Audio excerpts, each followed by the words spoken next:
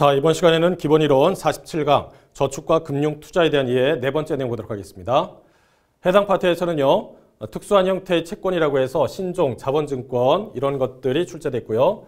주가지수 연계채권, 첨가, 소화채권, 우선조합 채권에 대한 비교 내용들이 문제로 해서 나왔습니다.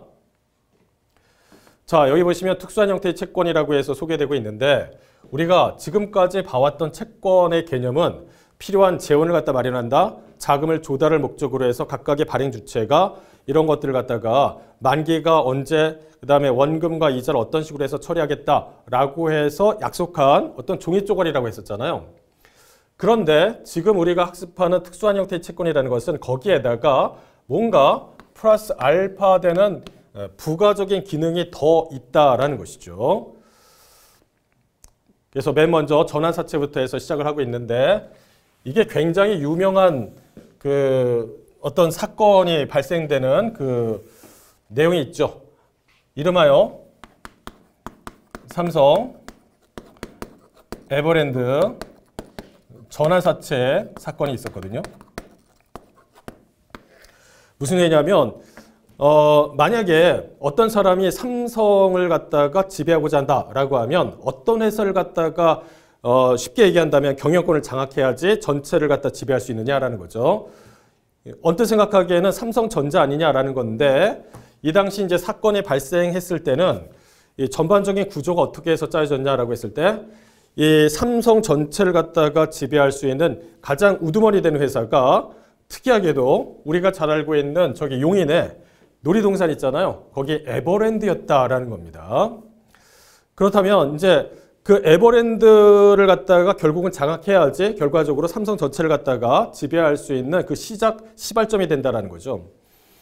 한번 생각해 보세요. 그러면 만약에 제가 이제 삼성에 대한 경영권을 갖고 있다라고 했는데 제 자녀에게 그러한 경영권을 갖다 물려주고 싶다라는 것이죠. 그럴 때 만약 정상적으로 해서 처리한다라고 하면 엄청난 세 부담을 갖다 떠안게 될 것이다라는 것이죠. 그 어떻게 해서 좀 이걸 갖다 돌파할 거냐라는 건데 그래서 삼성에서 이제 여러 가지 연구를 했겠죠. 그 중에 하나는 뭐냐라고 하면 그렇다면 전체를 지배하게 되는 우두머리 회사의 주식을 많이 갖고 있으면 되는 거 아니냐라는 겁니다. 그렇다면 어떻게 해서 이제 이 주식을 갖게 하느냐 스토리를 짜야 될 텐데 바로 그 유명한 전환사채를 갖다가 발행함으로써 그 당시에 그 이건희 회장의 자녀가 있었었는데 그 분들이 전부 다 젊은 나이에도 불구하고 전환권을 나중에 행사를 합니다. 그래서 여기 있던 이 채권들이 회사의 주식으로 바뀌면서 결국은 여기를 지배함으로 전체를 갖다가 어, 삼성을 장악하는 그런 시나리오가 완성이 됐었죠. 물론 이제 이 과정에서 과연 이것이 적정하게 발행된 것이냐, 그 다음에 여기에서 어떤 특혜는 없었느냐, 여러 가지 이슈가 있었습니다. 그렇지만 결과적으로 본다라고 하면 뭐 여러 가지 그런 뭐 잡음이 있었지만 결과적으로는 위법한 사항이 크지 않다, 뭐 별로 없다라고 해서 넘어갔었죠. 그렇다면 이제 전환사채라는 것이 어떤 개념이냐라는 건데 예를 들어서 회사의 어떤 재무 상황을 갖다가 잠깐 본다라고 하면 주식회사 A가 여기 자산이 있고요. 그 다음에 부채가 있고 자본이 있는 상황입니다. 자 그런데 어떤 사업을 하려고 했더니 돈이 필요하다라는 거죠. 그래서 회사가 채권을 발행합니다. 이렇게 해서 주식회사가 발행하는 채권을 뭐라고 하냐면 회사채라고 한다라는 거죠. 채권을 발행하면 누군가는 살 거다라는 거죠. 채권자가. 이런 상황입니다. 그런데 특이하게도 이 채권은요. 나중에 나중에 해당 전환사채를 뭘로 인서 바꿀 수 있냐라고 하면 주식으로 바꿀 수 있다라는 거예요. 주식. 굉장히 이점이 있죠.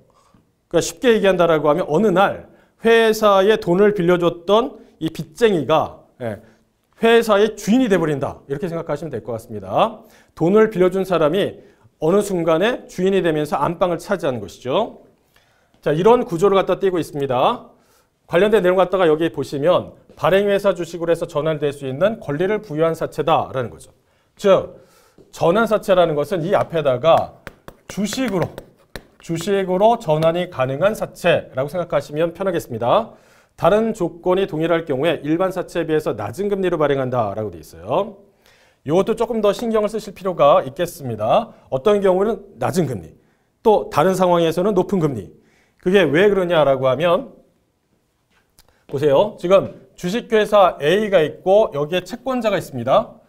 전환사채를 발행을 했다라는 거죠.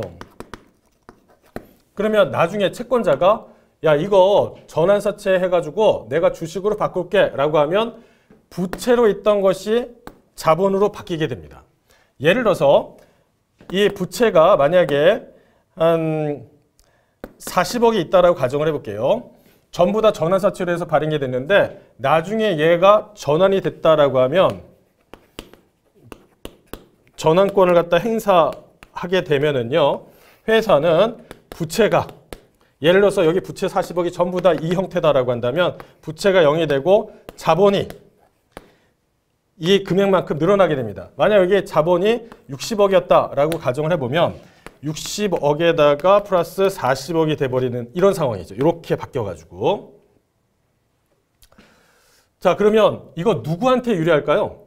채권자한테 유리합니다. 아까 보신 것처럼 그러한 전환 사채를 갖다가 어, 예를 들어서 이제 삼성 그 이건희 회장의 자녀분 되시는 그 예를 들어서 이재용이다라고 한다면 그분이 사셨어요. 그 다음에 전환권을 행사했다라는 거죠. 누구한테 유리한 거예요? 이분한테 유리한 거죠. 그러니까 채권자한테 유리하게 된다라고 하면 금리가 낮고요. 반면에 발행자한테 유리하다라고 한다면 금리가 높게 됩니다. 이와 관련했을 때 조금 정리해 보면 여기 발행회사가 있고 그 다음에 채권자가 있습니다. 만약 여기에 유리하다라고 하면 낮은 금리로 해서 발행되는 거고요. 반면에 여기가 유리하다라고 하면 높은 금리로 해서 발행이 됩니다. 이게 이제 전환사채였죠. 전환사채. 그래서 특이하게도 회사가 어, 여기 채권을 발행했는데 이 채권자가 이걸 가지고 전환권을 행사하게 되면 빚이 회사의 자본으로 바뀌면서 이 사람이 주인이 된다라는 거죠. 이어서 신주인 수권부 사채라고 되어 있습니다. 신주를 인수할 수 있는 권리가 부여된 사채라고 되어 있죠. 그러면 이번에는요. 전환 사채가 아니라 신주인 수권부 사채라고 해서 말씀을 드리겠습니다. 신주 인수권부 사채. 자, 이런 상황이었어요. 그러면 이거를 발행하면서 부채가 40억, 자본이 60억이었다라는 거죠. 그러면 신주 인수권부 사채라는 것은 조금 전에 보셨던 전환 사채와 달리 부채가 자본으로 바뀌는 것이냐? 그렇지 않아요. 그러니까 여기에 있는 부채 40억이 그냥 있는 상태로 해서 회사가 새롭게 주식을 발행한다라고 하면 너한테 그 신주를 갖다가 인수할 수 있는 권리를 부여해 줄게. 그 얘기예요. 아까랑 다르죠? 그러면 여기에 채권자가 나중에 회사가 주식을 발행한다라고 했을 때 신주 인수를 갖다가 받을 수 있는 권리가 부여됐다라고 했잖아요. 그러면 제가 신주 인수권을 갖다가 그렇게 인수할게요 라고 하더라도 아까 그 전환 사채와는 좀 다르게 요 상황이었다라고 한다면 신주 인수권부 사채로 해서 이 사람이 신주를 인수받는다 하더라도 여기에 있어서 부채가 40억이다라고 한다면 변화가 없어요. 똑같아요. 그러면 회사 입장에서 이 부채는 어떻게 하냐면 상환을 해야 되는 거죠. 예, 그런 차이가 좀 있다라는 거 구분하셔야 되겠습니다. 여기랑 비교한다라고 하면 여기는 그 부채가 없어지면서 자본으로 바뀌지만 이거는 그 부채가 있는 거예요. 그러니까 회사 입장에서는 그 빚을 갚아야 되는 거죠. 다만 발행회사가 신주를 이렇게 한다라고 하면 그거를 인수할 수 있는 권리를 여기에 부여했다라고 생각하시면 됩니다. 따라서 누구한테 유리하겠어요? 채권자한테 유리하기 때문에 낮은 금리로 해서 발행됩니다. 자 이번에는요 교환사채라고 되어 있습니다. 전환사채하고 좀 비교한다라고 하면 이런 부분에 있어서 차이가 있다라는 거죠. 아까 전환사채가 있었는데 주식회사 A입니다. 여기에 자산 부채, 자본이 있잖아요. 그러면 전환사채라는 것은 이 부채가 이렇게 해서 자본으로 바뀐다라고 했었는데 지금 교환사채라는 것은 이걸 거래한 채권자가 있고요. 똑같은 상황이었다라고 한다면 이렇게 보시면 되겠습니다.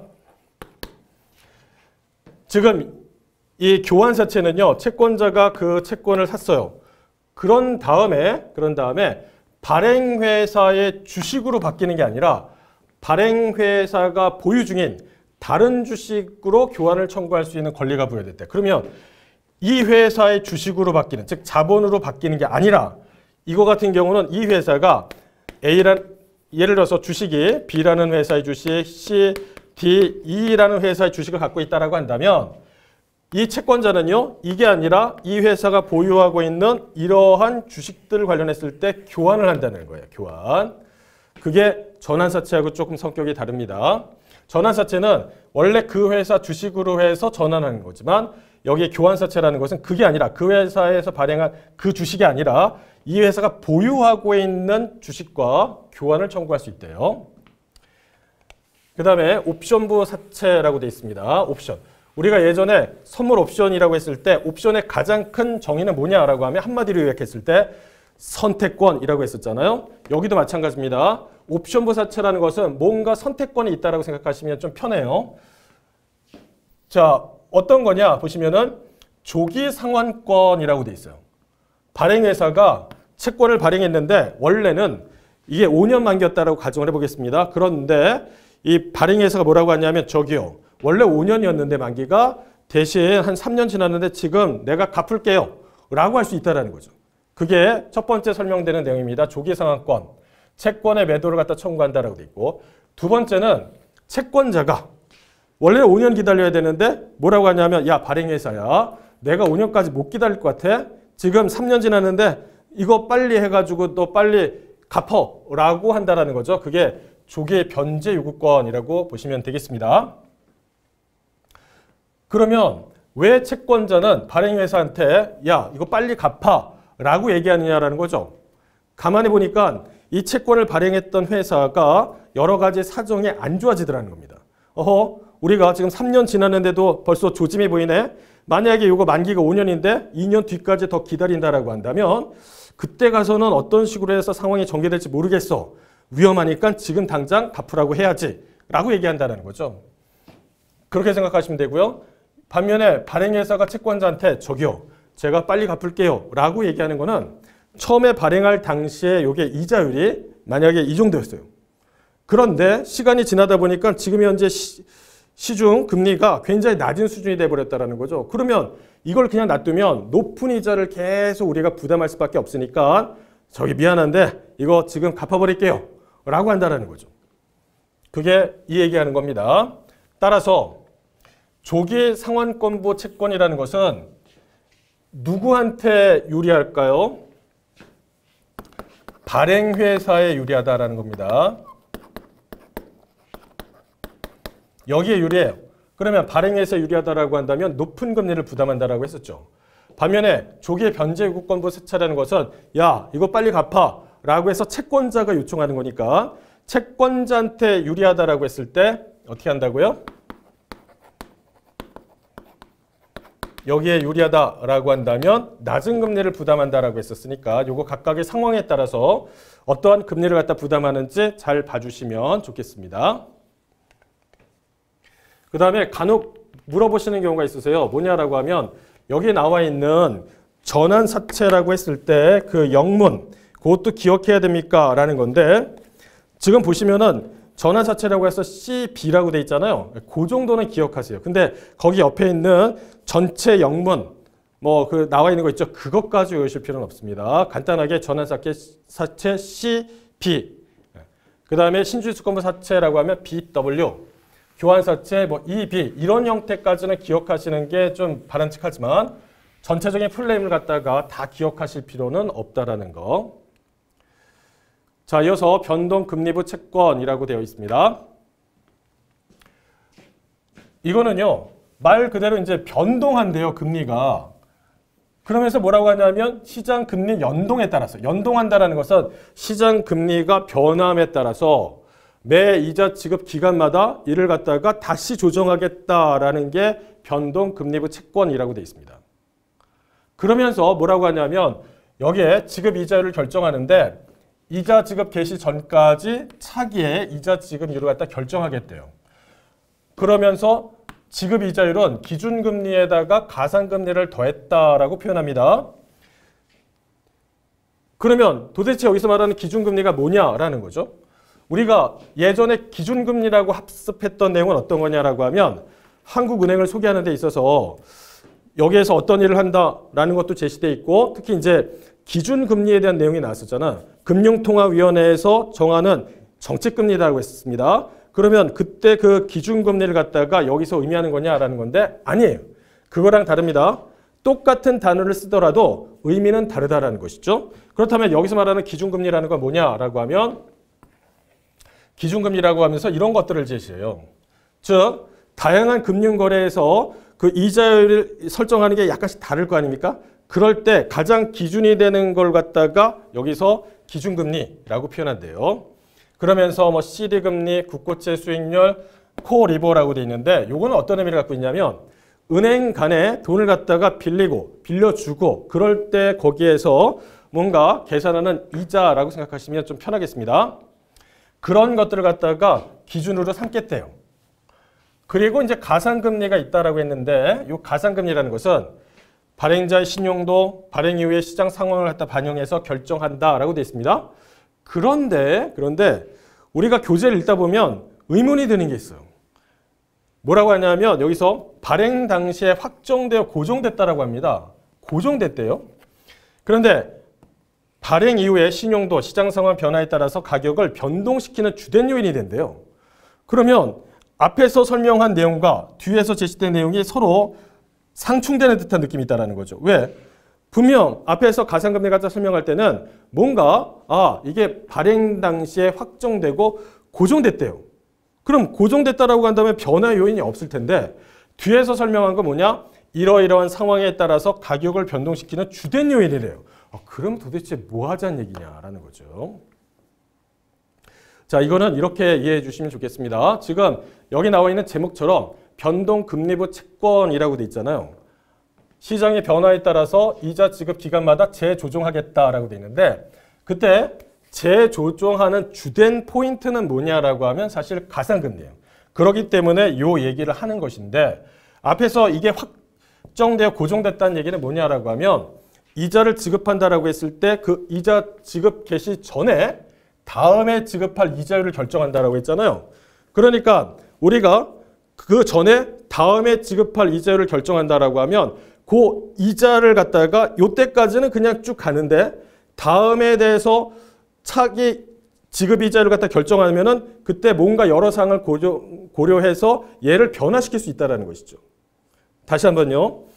지금 얘기하고자 하는 논점은 뭐냐라고 하면 우리가 이자율을 갖다가 결정하는 데 있어서 얘와 얘 요인이 있어요. 그럼 걔네들이 확정되면 일단 처음에 것을 쭉 진행할 텐데 여기서 특징이 뭐냐라고 하면 이런 형태로 해서 차기 지급 이자율을 결정한대요. 그러면 그 한 번 결정된 이자율이 쭉 가는 게 아니라 중간중간 이자를 지급할 때마다 뭔가 조정을 한다라는 것이죠. 그게 바로 요 내용이라고 생각하시면 됩니다. 처음에는 얘를 갖다가 이렇게 해서 확정 짓지만 걔가 끝까지 가는 게 아니라 중간중간마다 이자를 갖다가 지급 개시 전에 이렇게 조정하는 시점이 있기 때문에 그때마다 이런 것들을 고려해서 가상금리를 조금 조금씩 조정한 그런 개념이죠. 그래서 사실상 얘가 주된 어떤 그 변동시키는 요인으로서 작용한다라고 되어 있습니다. 그래서 교재를 갖다 읽다 보시면은 얘가 확정돼서 고정됐는데 얘가 또 주된 변동 요인이라고 해서 상당히 헷갈려요. 그런데 아까 말씀드린 것처럼 한번 결정되면 그거 쭉 가느냐 만기까지 그런 개념이 아니라 이자를 지급하는 시점마다 그게 약간 약간씩 조정이 된다. 그때 조정되는 주된 포인트가 얘래요. 자 이번에는요 자산 유동화 증권이라고 해서 ABS라고 되어 있습니다. 아, 이것도 또 머리가 아프다 이거죠.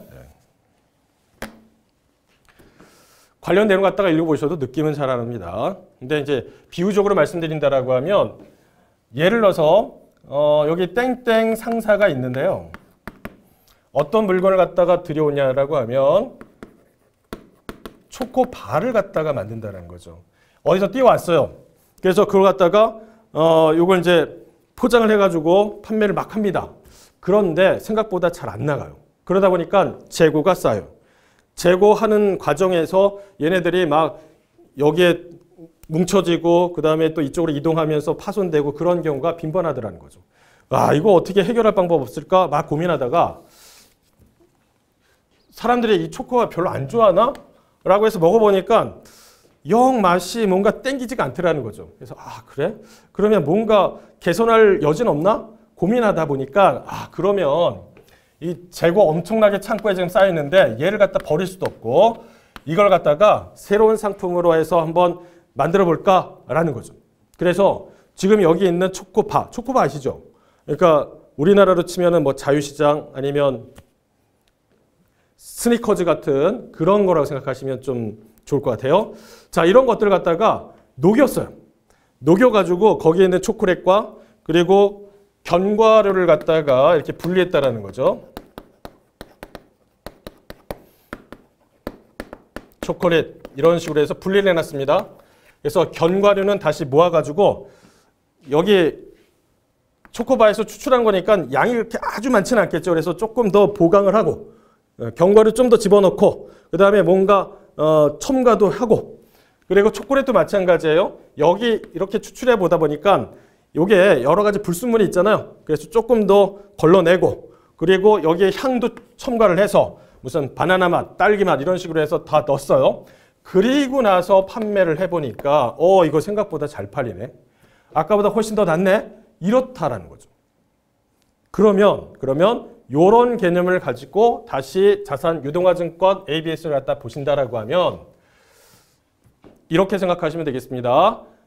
자산을 표준화한대요. 그 다음에 특정 조건별로 해서 집합을 시켜서 증권을 발행하겠답니다. 아 머리 아프죠. 아 머리 아파. 그러면서 여러 가지 설명하는데 첫 번째 문장부터 머리가 아파요. 그런데 여기 나와 있는 요걸 갖다가 잠깐 말씀드리면 이렇습니다. 예를 들어서 은행에서 그 사람들에게 대출을 해줬어요.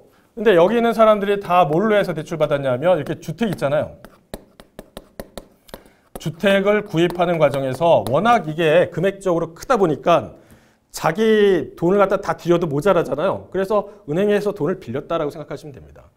이런 사람이 여기 있는 것만 아니라 여기 한 사람이 있고 두 번째 뭐 이런 사람도 있어요. 이번에는 뭐 이런 식으로 해서 집을 구매하면서 돈을 빌렸어요. 뭐 세 번째 사람도 있는데 이 사람 같은 경우에도 보니까 뭐 이런 식으로 해서 집을 이제 구매를 했다라는 거죠. 그리고 만기를 보니까 이 사람은 30년, 이 사람은 뭐 15년, 뭐 이 사람은 20년. 예를 들어서 그 다음에 빌린 금액을 갖다 보니까 이 사람은 한 4억, 이 사람 5억, 이 사람 한 8억 뭐 이런 식으로 해서 다 제각각이에요. 그렇다면 땡땡 은행에서 이렇게 돈을 빌려주었다라고 한다면 지금 정상적으로 만약 회사 그 은행에서 돈을 빌려준 걸 회수한다라고 하면 몇 년 걸리겠어요? 30년, 15년, 뭐 20년 이렇게 걸려요. 그 다음에 금액도 다 달라. 한 번 이런 식으로 해서 대출이 일어난다라고 하면 회수 기간이 길고 여러 가지 상황이 있기 때문에 다시 빌려줄 만한 여력이 사실상 은행에는 없다라는 거죠. 가만히 생각하니까 와 이거 내가 돈 몇 번 빌려주니까 우리가 다른 사람한테 대출할 여력이 없네? 라는 거예요. 아 어떻게 하면 이걸 갖다가 좀 해결할 수 있을까? 여러 가지 고민 고민하는 거죠. 아 그러면 이렇게 하면 어떨까?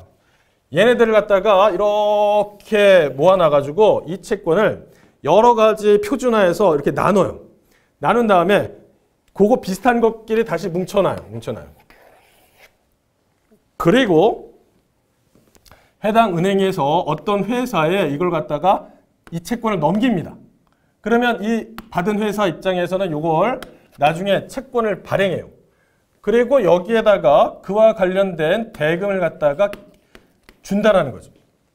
그러면 땡땡 은행 입장에서는 아직 아직 지금 여기 나와 있는 이 많은 채권들이 회수가 완료되진 않았지만 이런 식으로 뭔가 나누고 쪼갠 다음에 어떤 형태로 해서 채권을 넘기고 얘가 그걸 채권을 발행하게 되면 그와 관련했을 때 시장에 팔아치워 가지고 대금을 얘한테 준다라고 했을 때 땡땡 은행 입장에서는 예전에는 얘네들을 갖다 회수하기 위해서는 굉장히 30년, 20년, 15년을 갖다 기다리면서 이걸 이제 지켜봐야 되는데 지금 상황에서는 대출을 일으켰어요. 그 다음에 그거 가지고 뭔가 표준화하고 분류하고 나눈 다음에 얘를 갖다 넘겼어요. 그러고 나서 나중에 대금을 받았다라고 한다면 땡땡은행은 예전보다 훨씬 어떻게 해요? 적은 돈을 들이고 대출할 수 있는 재원이 커져요. 네, 그런 효과를 누리는 상품이라고 생각하시면 좋을 것 같습니다. 그래서 관련 내용 갖다 다시 한번 정리한다라고 하면 자산을 표준화하고 특정 조건별로 분류한다라는 거죠. 지금 이런 것처럼 아까 제가 비유적으로 말씀드렸던 초코바를 녹인 다음에 견과류와 그리고 초콜릿으로 구분한 것처럼 그리고는 이제 증권을 발행한다. 그래서 유동화 대상 자산을 집합시켜서 특수목적 회사의 양도 넘깁니다. 이런 것들이 그런 성격이라고 생각하시면 돼요. 특수목적 회사. 그래서 얘를 기초로 해서 넘긴 다음에 나중에 대금을 받으면 자금을 조달해서 결국 대출할 수 있는 여유 재원을 마련한다는 것이죠. 근데 그 과정에서 뭔가 신용도를 갖다 높이기 위한 작업들이 들어간다라는 거죠. 보증 등 통해서. 물론 이제 교재를 보시면 조금 더 내용이 나와 있지만 가장 쉽게 우리가 이해할 수 있는 내용으로 해서 말씀드렸습니다. 아까 제가 초코 바를 갖다 분리했다라고 했죠. 근데 그렇게만 분리하고 해서 상품 만드는 거는 조금 그 부실할 수가 있다라는 거죠. 그래서 견과류에 조금 더 첨가를 하고 견과 다른 것들도 그 다음에 초콜릿 나눴다라고 한다면 불순물도 제거하고 거기에 바나나, 딸기향 갖다 첨가를 해서 뭔가 그 상품의 어떤 완성도를 갖다 높인다라고 생각하시면 됩니다. 그걸 뭐라고 하냐면 신용도를 높이기 위해서 라고 표현하는 거죠. 다른 말로 신용 보강이라고 생각하시면 되겠습니다. 재무 구조를 개선할 수 있으며 신용 보강을 통해서 자금 조달 비용을 절감할 수 있다. 만약 이런 것들 전체적으로 회수하려고 그러면 상당히 시간도 많이 걸리고 비용도 발생될 텐데 이런 식으로 모아서 넘기면 훨씬 더 수월하다는 거죠. 그게 자산 유동화 증권 ABS입니다. 대충 느낌만 가지세요. 예. 그 다음에 주가지수 연계채권 EL N이라고 되어 있는데요.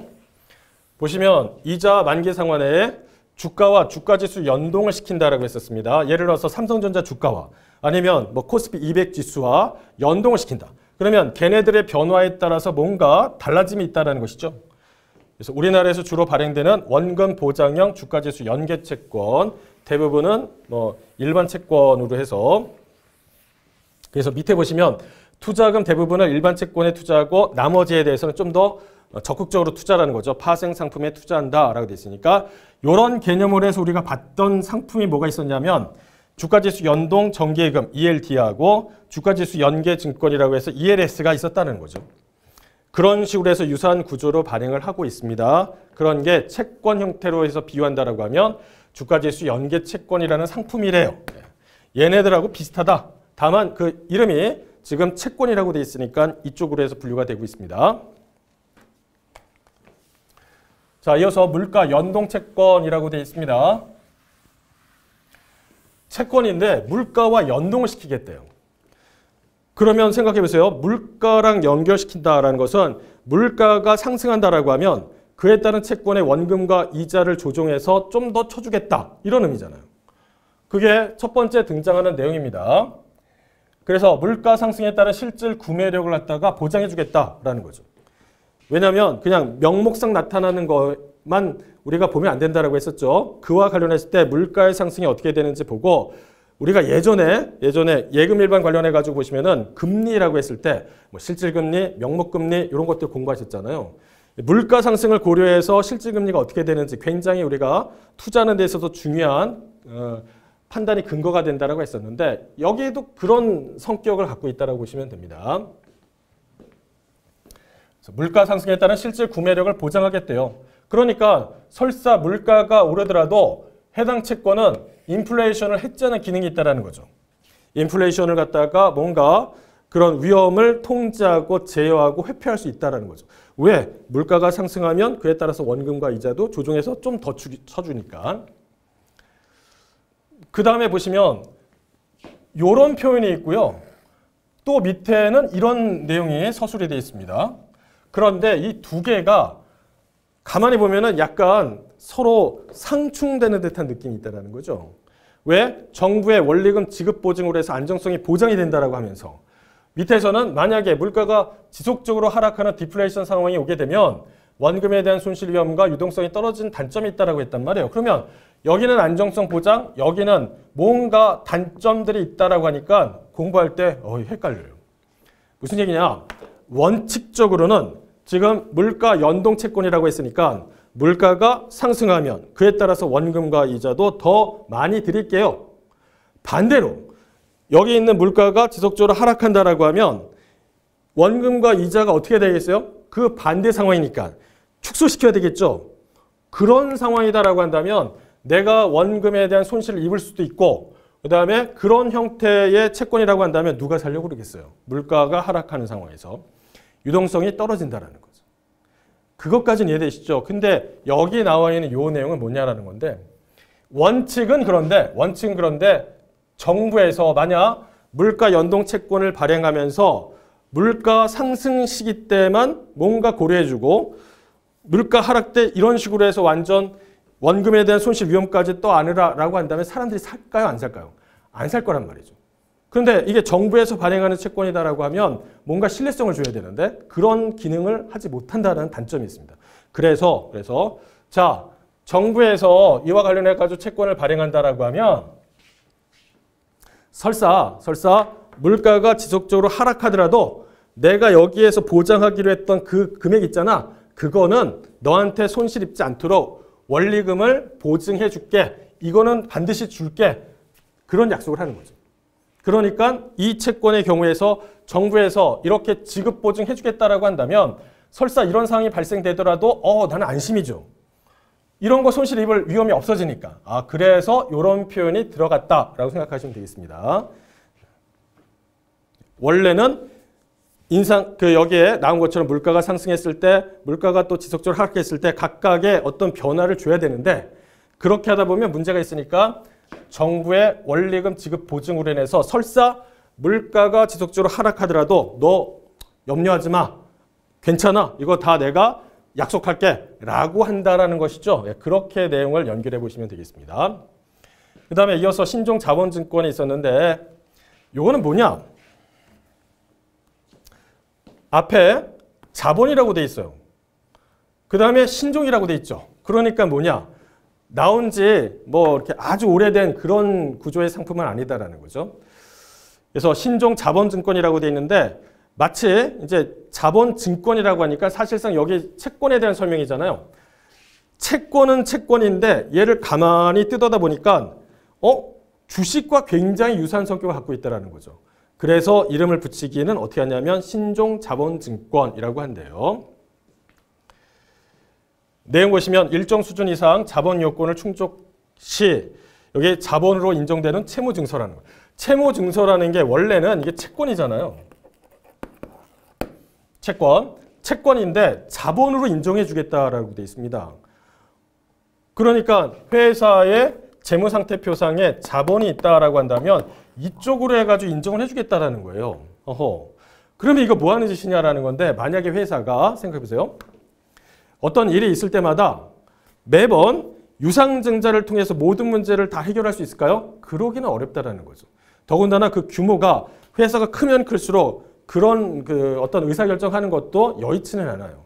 그렇다라고 한다면 유상증자 말고 뭔가 얘를 갖다가 대체할 수 있는 것들을 갖다 여기다 집어넣으면 좀 더 낫지 않을까라는 생각이 들 거란 말이죠. 예. 그래서 얘가 공식적으로는 주식은 아니에요. 그렇지만 가만히 성격을 들여다보니까 채권임에도 불구하고 마치 주식 같은 역할을 하네요. 라고 해서 얘 쪽으로 해서 반영할 수 있는 그러한 증권을 얘라고 합니다. 그래서 채권과 주식의 중간적인 성격을 가지고 있다라고 했죠. 하이브리드 채권이라고 합니다. 그렇다면 채권의 성격은 무엇이 있느냐? 만약에 청산했을 때 청산하게 되면 자녀 재산에 대한 분배를 한다라고 했었잖아요. 그럴 때 주주보다 먼저 와서 챙길 수 있다는 거죠. 그러니까 채권의 성격을 갖고 있구나. 그런데 주식의 성격도 있다라고 했습니다. 만기 도래 시 자동적으로 만기 연장을 통해서 원금 상환에 대한 부담이 없다. 그러니까 예를 들어서 주식이라고 한다면 제가 삼성전자 주식을 하나 샀어요. 그러면 이 주식이 만기가 있나요, 없나요? 없어요. 만기가 없습니다. 그냥 한 번 사면 쭉 가는 겁니다. 근데 얘는 채권이라고 했잖아요. 채권이라는 것은 만기가 있을 텐데 있어요. 있긴 있지만 그 만기를 갖다가 여기 보시는 것처럼 만기 연장을 계속해 준대요.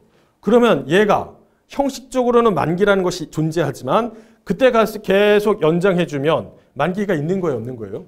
없는 거잖아요. 그래서 얘가 원리금에 대한 상환 부담이 없다라고 되어 있습니다. 자, 그런데 여기에 보시면은 발행 후 5년 경과 시 채권 회수를 위해서 콜옵션 조기 상환권을 갖다가 부여한다라는 표현이 있어요. 예전에 이게 시험 문제로 나왔었습니다. 요게 나왔어요. 요게. 상당히 어렵다라는 것이죠. 여러분 교재 보시면 83페이지 하단쯤에 제가 말씀드린 그 내용이 들어가 있습니다. 밑에서 하나, 둘, 세 번째 줄에 요게 나와 있어요. 근데 문제를 어떻게 내느냐? 발행 후 5년 경과 시 채권 회수 위에서 콜옵션이죠. 요걸 갖다가 풋옵션이라고 했단 말이죠. 풋옵션. 와. 만약 여러분께서 시험장 딱 갔는데 요 문장이 딱 나와 있는 상황에서 원래는 콜옵션인데 말을 살짝 바꿔가지고 풋옵션 이렇게 하면 찾아낼 수 있느냐라는 생각보다 어렵습니다. 어려워요. 시험장 가시면 긴장도가 높아요. 그러니까 내가 평소에 알고 있는 것도 시험장에서 걔가 딱 바로 보여야 되는데 그렇지 못한 경우가 있을 수 있다는 겁니다. 그 이렇게 보면은 어 보면 뭔가 옵션 이렇게 되면 어 맞는구나 이런 생각이 들어요. 그러나 콜옵션이 아니라 풋옵션이라고 쓰면은 이 내용이 틀렸다라는 것이죠. 아주 아주 어렵습니다. 그러면 어 보세요. 여기에 만기 연장을 통해서 원금 상환에 대한 부담을 없앤다라고 했잖아요. 그러면 그렇게 계속 할 것이지 왜 발행 후 5년이 경과됐는데 채권 회수를 위해서 이런 표현을 갖다 쓰느냐라는 거죠. 원래 여기 신종 자본증권이 여기 나온 것처럼 채권과 주식의 어떤 중간적인 성격을 갖고 있는데 이게 원금 상환에 대한 부담, 만기에 자동적으로 연장한다라고 했잖아요. 문제는 뭐냐라고 하면 이 신종 자본증권 관련했을 때 이 만기가 오래되면 오래될수록 이자율이 높아가는 경향이 있어요. 그래서 이 신종 자본증권의 경우에 있어서는 내가 계속적으로 얘를 갖다가 만기에 연장하게 되면은 나중에 부담해야 될 이자가 계속적으로 늘어나는 그런 단점이 있다는 겁니다. 그래서 많은 기업에서 이걸 갖다가 나중에 어떻게 하냐면 상환하는 경우가 많습니다. 상환해요. 그래서 예전에 보면은 신종 자본증권 관련했을 때 어떤 회사가 발행했다가 이거를 나중에 그 시점에서 상환해야 되는데 상환을 못 해가지고 시장에서 막 소문이 난 적이 있었어요. 아, 얘 상환 못한다, 못한다. 재무 구조가 급격히 악화된 것 같아. 얘 곧 뭔가 일 터질 것 같아. 이런 식으로 해서. 그래갖고 그 회사에서 이걸 진정시키느라고 굉장히 뭐 여러 가지 뭐 다방면으로 해서 노력하고 그랬었죠.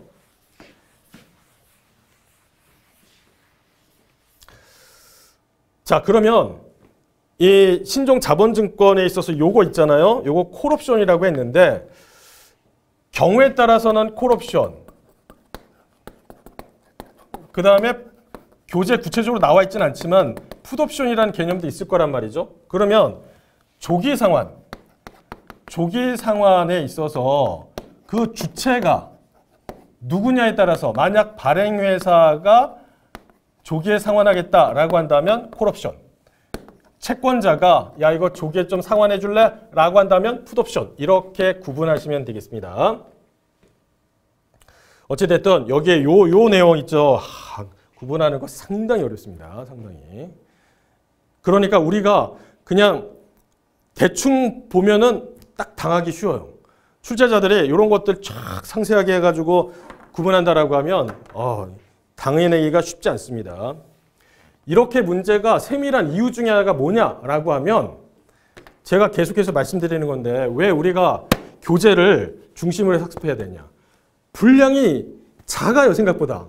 이게 많지가 않다는 거예요. 결코 처음에 공부하시면 우와 엄청나게 많다. 너무 머리 아파. 라지만 공부를 계속 하시다 보면 어, 이 시험 우리가 준비하고 있는 계리직에 있어서 예금 일반 한 과목을 당당히 차지하는데 생각보다 분량이 크지 않다라는 거예요.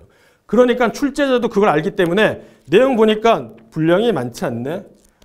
만약 여기서 문제를 아주 쉽게 낸다라고 하면 사람들이 분량이 많지 않으니까 열심히 공부해가지고 다 좋은 점수 받으면 선발할 수 있겠어요? 그렇게 못한단 말이죠. 그러니까 여기에서 문제를 세밀하게 내려고 엄청 뒤져본다라는 겁니다. 출제자도. 어떤 의미인지 아시겠죠? 예, 그래서 우리가 교재를 중심으로 해서 학습을 여러 차례 회독하고 그렇게 해야 돼요. 그래서 여러분이 나중에 궁극적으로 하고자 하는 바는 뭐냐라고 하면 이 내용을 갖다가 시험 전날 딱 놓고 쫙 읽어보고 끝 할 수 있어야 된다는 겁니다. 어, 다 기억나, 다 기억나. 요거 내가 시험장 갈 때까지, 시험 볼 때까지는 다 기억날 것 같아. 그렇게 해야 된다는 거죠. 그래서 시험장 가면은 요게 다 기억나면 그때는 합격이죠. 뭐 보나마나. 그렇게까지 하는 게 말처럼 쉬우냐 쉽지는 않습니다. 사실 엄청난 노력의 수반이 돼야 되는 것이죠. 네. 그러니까 우리가 공부를 하다 보면 뭔가 아 쉬운 방법이 있을 것이다라는 건데 물론 나름의 어떤 구체적인 스킬적인 측면에서는 존재하겠죠. 네. 그러나 기본적으로는 기본적으로는 그런 스킬만을 갖다가 이용해 가지고 하기가 어려운 시험이에요. 이 시험이. 그러니까 출제자도 뭔가 스킬적인 부분에서 얘를 갖다 해결할 수 있게끔 시험 문제를 내지 않는다는 겁니다. 네. 자, 이어서 소액 채권 거래 제도라고 되어 있어요. 이거는 뭐냐? 예를 들어서 여러분께서 차를 갖다가 구입하신다라는 거예요. 승용차. 그러면 그 승용차를 구입하는 데 있어서 제가 차량 가격만 내면 끝나느냐? 그렇진 않죠. 여러 가지 세금도 내야 되는데 그거 관련해 가지고 제가 이제 번호판 그 신청을 하려고 구청에 갔다 이겁니다. 그러면 거기에서 뭔가 잔뜩 뭔가를 사래요. 그러면서 하는 얘기가 뭐냐면 반드시 이걸 갖다 하셔야 됩니다. 채권을 사야 된다는 거예요. 그 채권을 갖다가 뭐라고 하냐라고 하면 첨가 소화 채권이라고 합니다. 이거 정부의 어떤 그 여기 보시면 재원 조달, 지자체, 공공사업 이런 것들 관련해 가지고 강제적으로 매입해야 된대요. 그래서 얘를 뭐라고 하냐면 마치 세금 관련했을 때 보시면 세금도 우리가 원해서 내는 게 아니라 강제로 걷어가는 거잖아요. 그래서 얘를 준조세 성격을 갖고 있다라고 합니다. 해당하는 어떤 자산을 취득하기 위해서는 반드시 얘를 갖다가 사야 된다라는 거죠. 대표적인 게 차량, 그 다음에 부동산 이렇게 생각하시면 편합니다. 그런데 이제 차를 갖다가 사보시면 아시겠지만 여러분께서 차를 구매하시고 번호판 신청하는 데 있어서 다 대행을 해주잖아요. 거기에 이제 대리점 같은 데서. 그럴 때 이러한 채권을 직접 다 사면은 우리가 부담이 많이 되니까 어떻게 해요? 보통 이런 식으로 해서 서울 같은 경우에 이제 구청, 지자체가 있다라고 한다면 여기에서 그 작업을 하는데 그 보통 은행이 여기에 있어요. 그러니까 해당 채권을 갖다가 제가 샀다가 나중에 오랫동안 갖고 있으면서 이후에 만기돼서 팔아치운다? 어려우니까 보통 요걸 갖다가 은행에 가서 바로 할인을 합니다. 할인한다. 그래서 우리는 할인 그 금액만 이제 지불하고 끝내는 그런 상황이 많은데요. 어찌됐든 이런 식으로 해서 어떤 자산을 취득하는 데 있어서 반드시 해당 채권을 매입해야 된다라고 한다면 그때 그렇게 해서 매입하시는 분도 있으세요. 만약 그런 분들이 있다라고 한다면 이 채권이 일반적으로 장기예요. 만기까지 오랫동안 기다려야 된다? 아, 부담스럽잖아요. 만약 내가 여러 가지로 이제 현금이 필요하다라고 했을 때 얘네들을 빨리 현금화 시키지 못한다라고 한다면 정부에 굉장히 불만사항이 많은 거죠. 강제로 이거 사게 놓고 이거 제대로 이거 현금으로 바꾸려고 할 수도 없고 열나잖아요. 예, 그러니까 이런 것들을 좀 더 활성화시키기 위해서 소액 국공채 거래 제도라는 게 도입됐다라는 거죠. 자, 지금 여기 나와 있는 것처럼 강제적으로 해서 매입해야 되는 채권들이 있다라고 한다면 그거 거래 쉽게 될 수 있도록 여기에서 사고 팔아 라고 생각하시면 되겠습니다. 그게 소액 국공채 거래 제도예요. 물론 이제 현실적으로 아까 말씀드린 것처럼 대부분 매입과 동시에 예, 다 매도하는 성격이 있죠.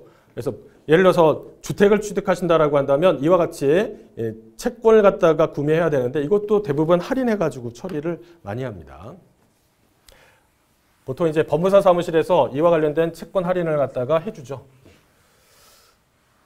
이런 것들을 전부 다 첨가 소화 채권이라고 합니다. 해당 자산을 취득하는 데 있어서 얘를 갖다가 붙여가지고 네가 좀 너 이런 고가의 차량 그 다음에 이러한 주택 금액적으로 굉장히 부담이 많을 텐데 이걸 살 정도면 너 충분히 이걸 감내할 만하구나. 그러니까 이런 채권을 좀 사줘라고 하는 게 이거예요. 자 이번에는요 주식과 채권에 대한 비교가 나와 있습니다. 여기에 제시된 것도 소목적상 의의가 있는 것이고요. 먼저 주식이라고 돼 있는데 발행하는 회사는 주식회사, 채권은 발행에 대한 주체가 굉장히 다양했었죠. 정부, 지자체, 특수법인, 주식회사 등으로 해서 나와 있습니다. 자본 조달 방법을 해서 주식회사가 주식을 발행하면 자본이 되는 거예요. 자본. 그렇기 때문에 얘를 다른 말로 자기자본. 반면에 채권을 발행하게 되면 이건 빚을 진 거죠. 빚.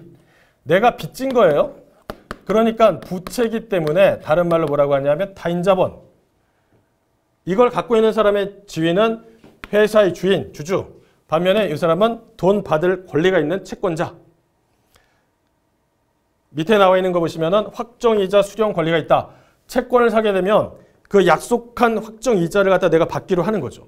그러나 주식이다라고 한다면 얘는 확정된 게 아니라 결산해가지고 이번에 사업에 해보니까 영업 실적이 좋아요. 그래서 주주분들에게 배당을 드리겠습니다. 그런 얘기하는 거죠.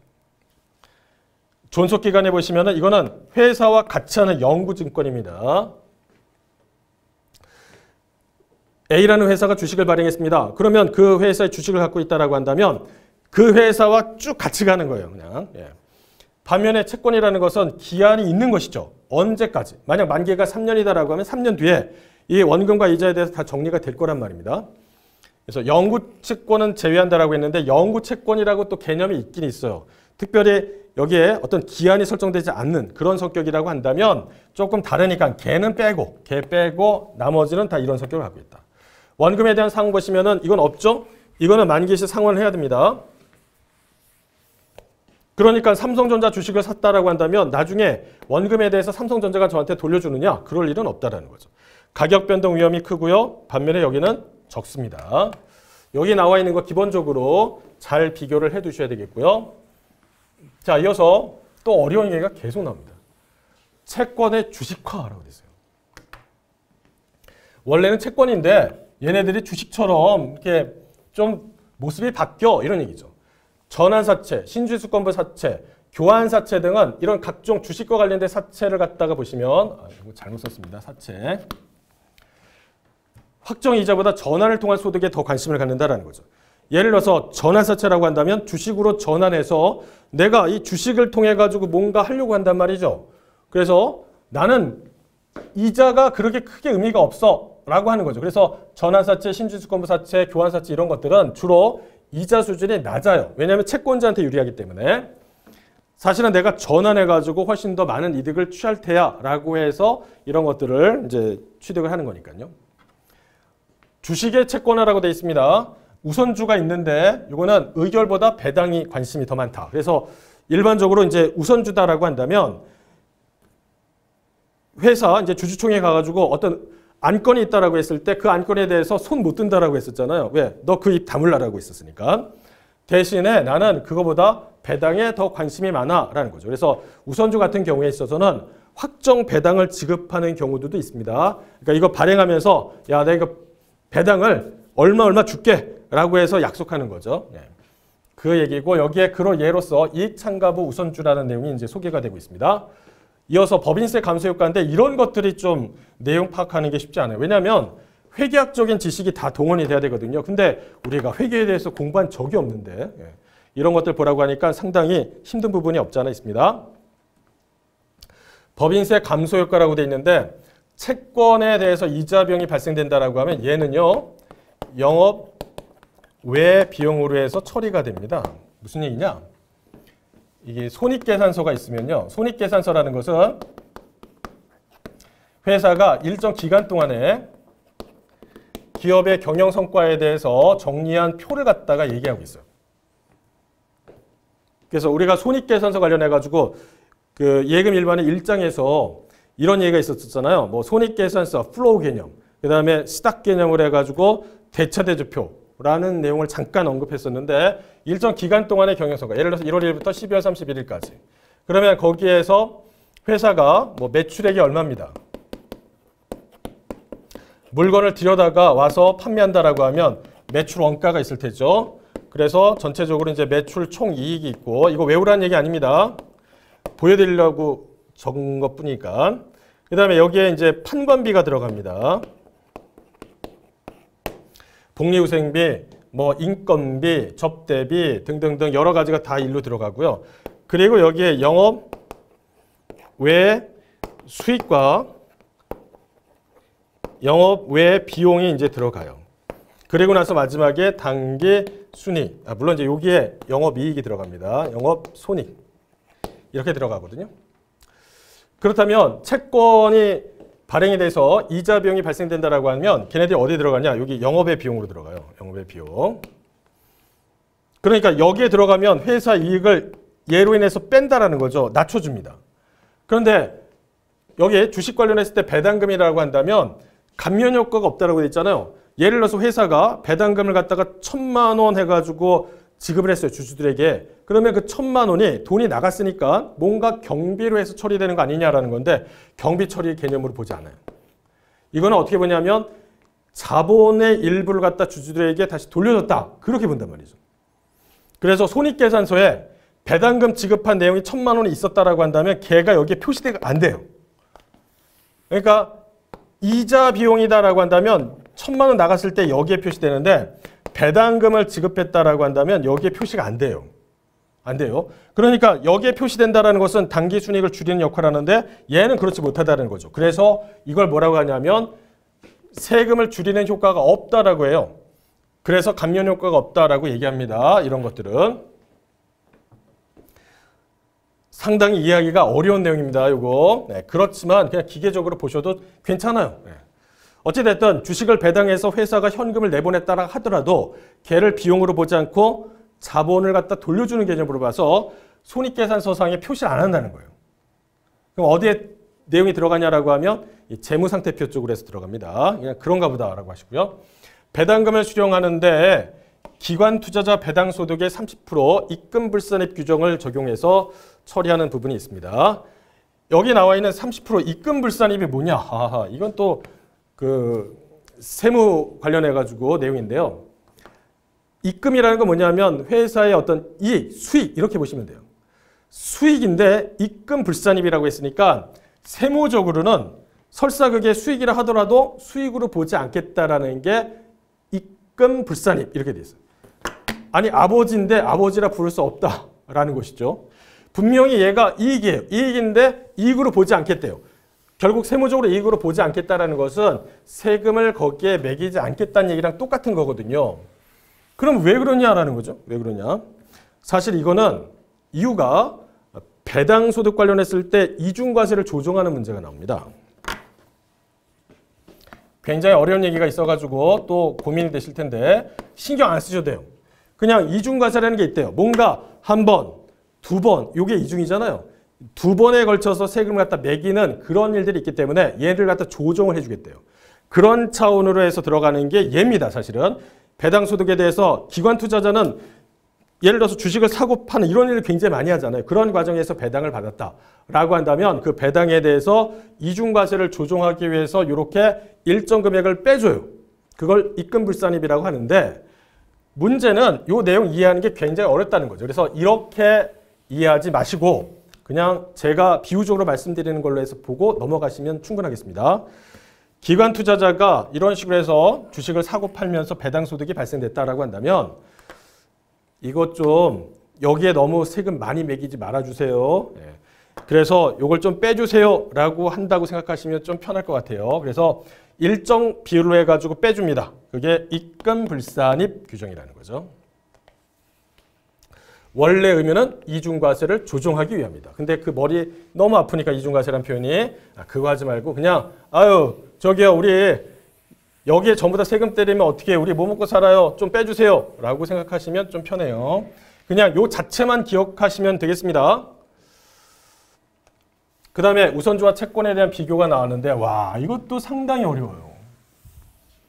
너무너무 어려워요 사실은. 일단 유사점을 갖다 보시면 우선주와 채권이라고 되어 있습니다. 정해진 현금 흐름에 정기적으로 해서 지급한다라고 되어 있잖아요. 당연히 채권의 경우는 확정 이자부 채권이라고 했으니까 우리가 약정된 이자를 갖다가 받아야 된다라고 했으니까 이 얘기 맞죠.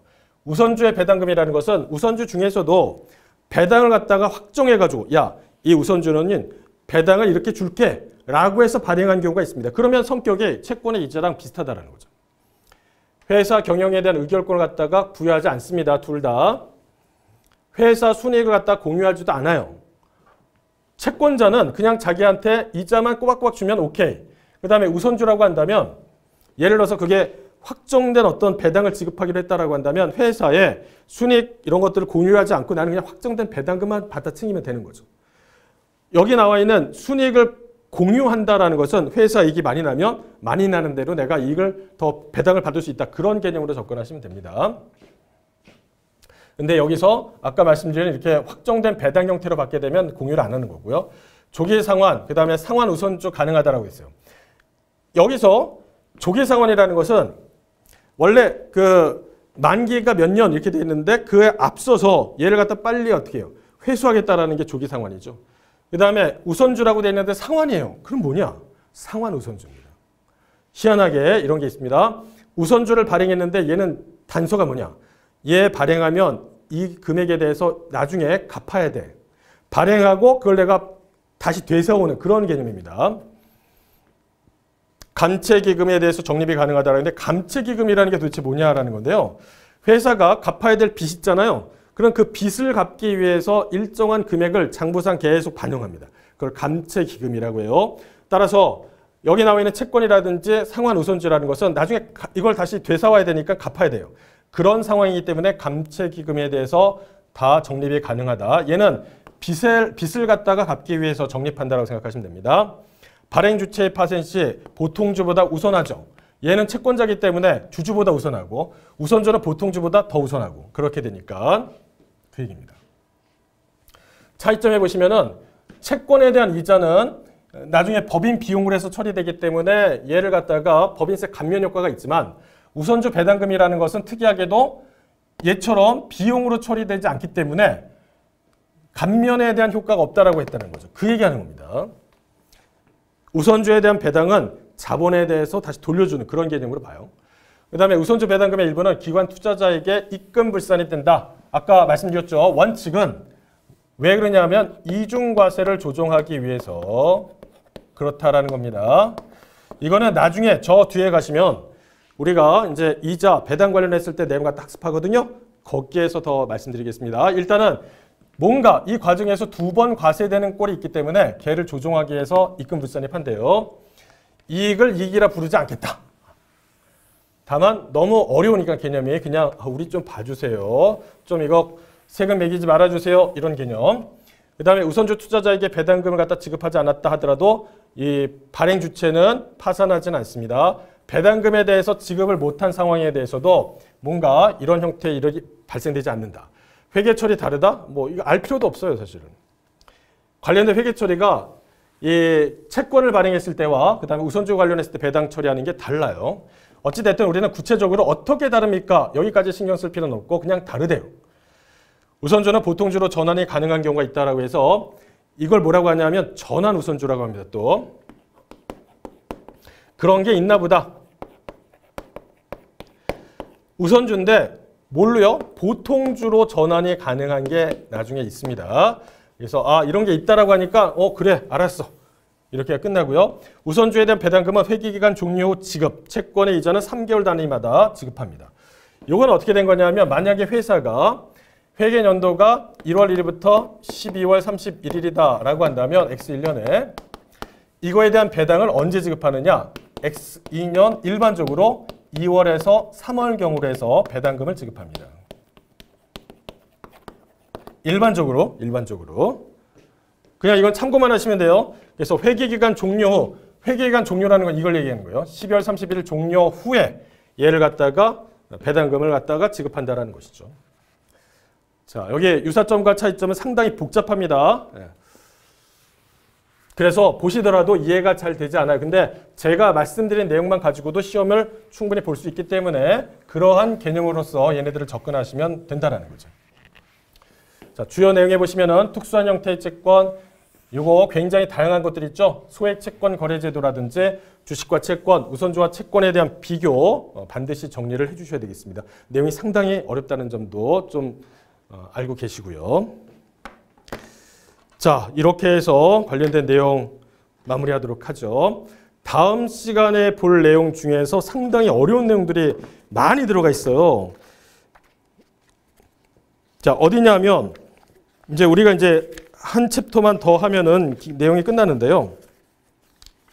증권 분석이라고 돼 있고 5-3에 보시면 재무 비율에 대한 분석이 있는데 요게 상당히 어렵습니다. 상당히 어렵습니다. 그래서 꼭 어, 다음번 그 수강하시기 전에 교재에 나와 있는 내용 갖다 보세요. 조금 보- 내용 이해를 하라는 뜻이 아니라 그래도 한번 보고 가는 거하고 그렇지 않은 거하고 차이가 있으니까 꼭 한번 읽어보시라는 거죠. 아 이런 얘기를 하는구나. 이런 내용은 이해가 안 되는구나. 이런 것들 보시면서 관련 내용에 대해서 체크 한번 해보시는 걸 당부드리겠습니다. 자 이번 시간 이렇게 해서 마무리하도록 하죠. 수고 많으셨습니다.